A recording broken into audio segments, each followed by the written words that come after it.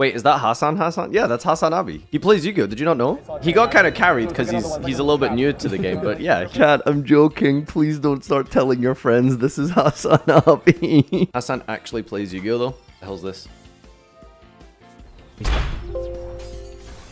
What a f***ing liar, dude. What a fucking Weasley little liar, dude. What a f***ing Weasley little liar, dude. Holy sh**, dude.